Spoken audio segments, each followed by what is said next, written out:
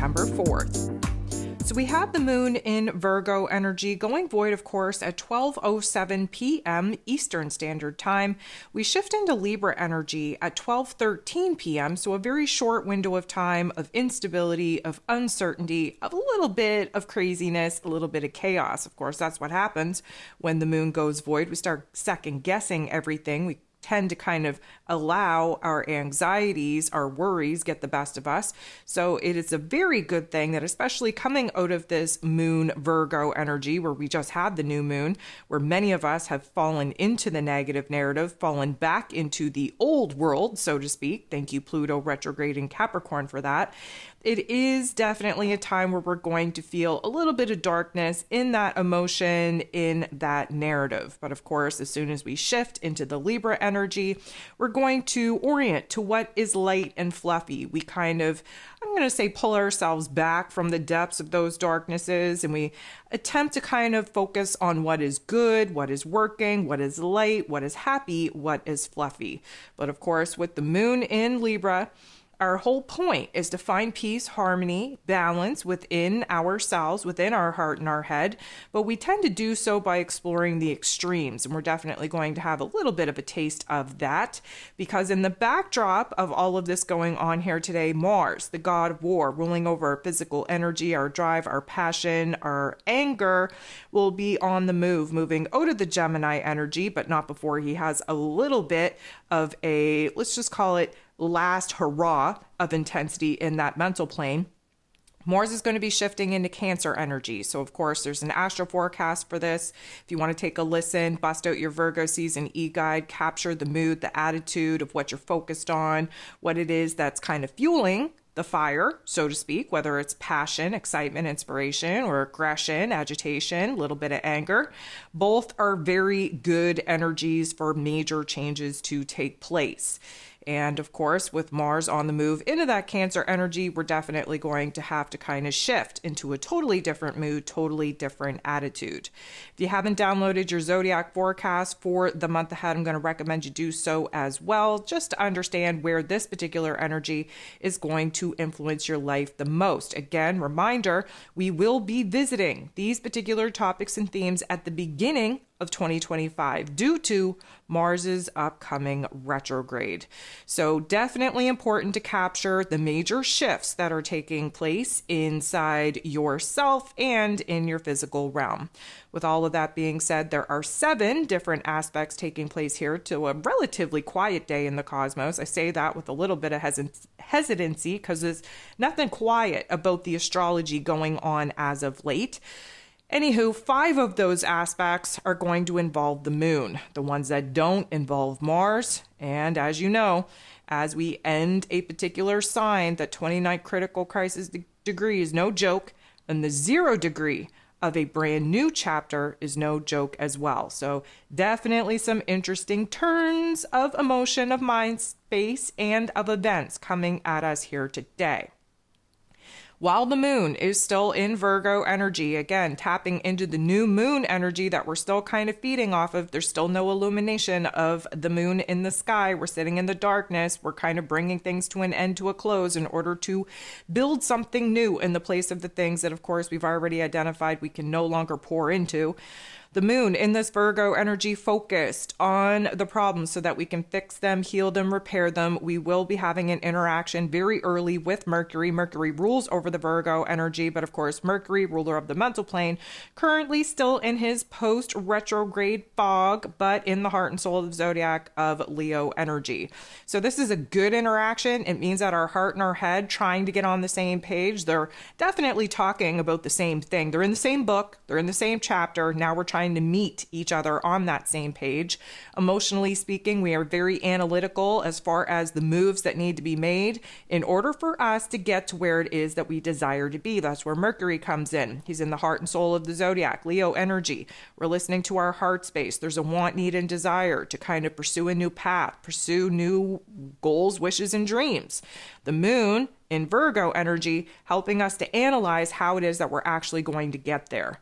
The moon in Virgo energy then going to trine, beautiful interaction with Uranus, the great awakener, who is now retrograde in Taurus energy.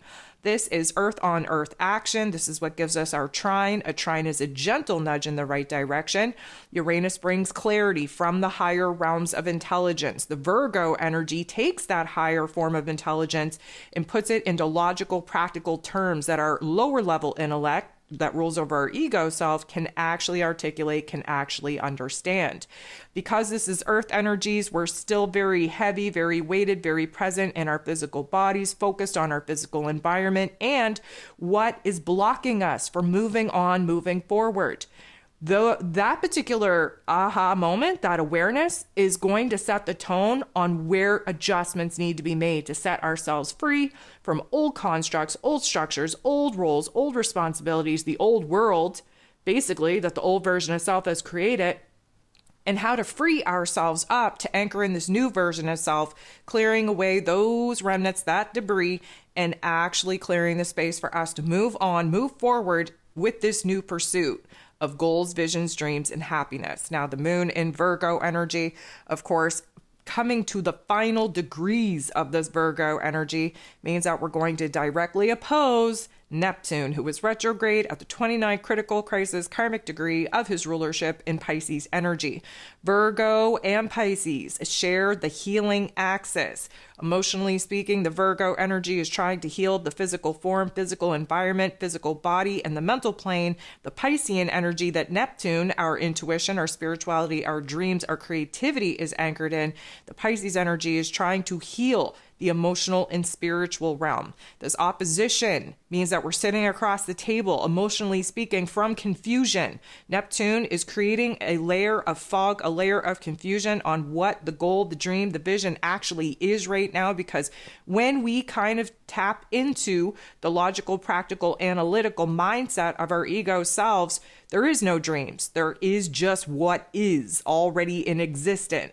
It is our imagination, our creativity, our ability to dream that actually instills hopes, wishes, and dreams in us. And we have to strike a balance.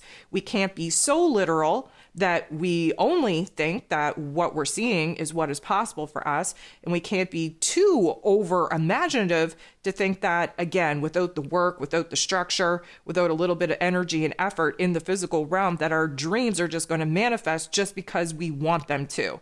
This is a little bit of a balanced situation where we have to understand that in order to get to where it is that we want to be, we have to make adjustments in the physical realm currently with the issues that again are banging our head against the wall about on how it is that we're going to put some of these circumstances behind us.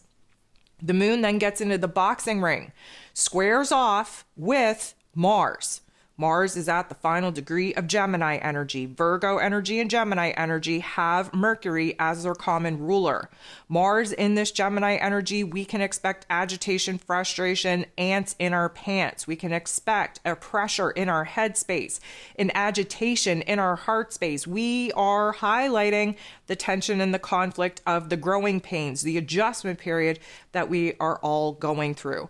Again, this is the final hurrah of Mars. This is the last aspect that Mars will be making in this Gemini energy, but pay attention to just keep this in the back of your mind. We have the moon in Virgo entering into the square to fight it out with Mars in order for us to realize, emotionally speaking, where we need to make adjustments in our physical realm in order to clear the path for us to pursue Mars energy, new passions, goals, and dreams. We're planning, we're strategizing in the Gemini energy. Pay attention. We're going to bring this full circle here in just a second. The moon in Virgo energy, then going to trine, beautiful interaction with Pluto, the great transformer, who is retrograde now in Capricorn energy. Now, the reason why I want to say pay attention is because now we've been thrown back into the old world. This is our final hurrah of Pluto, illuminating the old world structures, the old world foundation, roles, responsibilities, mindset, and emotions that belong in the past.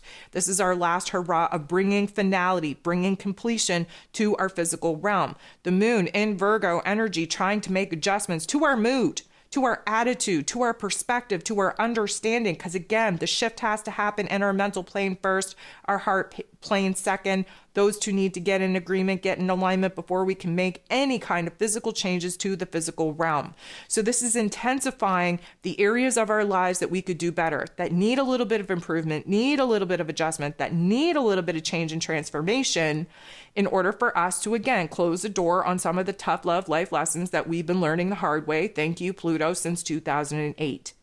Now, this is the point in time, 1207 p.m., that the moon is going to go void of course. We sit in that for a couple of minutes, lock into the Libra energy at 12:13 p.m. The reason why I said earlier pay attention is for this reason and this reason alone. Mars now at still at the final degrees of Gemini energy is going to be making a harsh interaction with Pluto. Pluto at the very last degrees of Capricorn energy we have the god of war and the god of underworld going at it with each other at the final degrees. Now, this is the last aspect. I know I said earlier that this was the last aspect that Mars was going to make. That was under the moon in Virgo energy. I should have clarified that. Now we're in Libra energy. So, what happens when the moon is in Libra? We want everyone to get along. We want everybody to be happy. We want everybody to be on the same page. We want happiness and joy and fairness and justice to be served. So now we're under a different influence. This is why things, again, we jump into this moon and Libra energy, the scales get tipped not in our favor. The very first aspect that's taking place under this Libra influence is Mars and Pluto going at each other. This is going to stir up a lot of frustration, a lot of tension, a lot of aggression, a lot of edginess. Again, final degrees of Gemini energy, a lot of pressure in the head. It's going to feel like we can feel our heart beating out of our chest. Go ahead, take a listen to the ascension forecast that I put out there for this week to understand where the energy is going to manifest in the physical body anger rising to the surface, competitiveness rising to the surface, jealousy, betrayal, all of these ugly thoughts, these ugly emotions, these ugly experiences that we've all had rising to the surface. Why? Because Pluto is the great transformer. We turn pain into power. We turn darkness into light. There is no more aggressive force than you can get than the god of war and the god of the underworld, bringing up all this darkness, bringing it, highlighting it in the mental plane, Gemini energy, in order for us to destroy it. Pluto. What are we destroying? The past. The past pain, the past trauma that had us locked in the old world. That is the Capricorn energy that Pluto is now retrograde in. That is a huge energy, not going to feel good. It's going to highlight for us where it is that we have certain aspects that need to be kind of resolved before we can actually move on. This is us kind of, I'm going to say, facing our shadow selves, sitting in it, really absorbing all of the not so nice topics and themes, the not so nice thoughts and feelings, the not so nice situations and circumstances that we've already lived through that we're learning to integrate those particular pains into power. And of course, we have to sit in the funk. We have to get real and raw with our darkness. That is the shadow work in order for us to flip the script to turn it into something empowering. That's what Pluto does. So that is not going to feel good, okay? We're going to sit in that. And then what happens? 3:47 p.m. Eastern Standard Time, Mars moves into Cancer energy totally different vibe. It's a cardinal energy. It's time to initiate a new path, a new direction, time to drop into the heart space, time to fight, defend, and protect what it is that we've already built, what it is that actually matters to us. We are going to receive huge amounts of intuitive insight on what we need to do from here to either continue to build up the boundaries that have kept us safe and kept us away from certain people, places, and things and essentially harm or put us in a situation to realize now what needs to be built. Either way, this is going to be a major day of fluctuating energies, a major day of feeling real, raw, and vulnerable in our current present moment and circumstances in order for us to gain a totally different perspective on what it is that we need to do to close the door to the past and start building a strong enough foundation to house the goals, the visions, the dreams of the future.